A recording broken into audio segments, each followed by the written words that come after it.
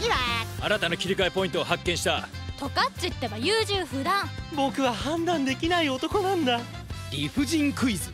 今の僕がすべきことはアキラんと一緒に戦うことだ。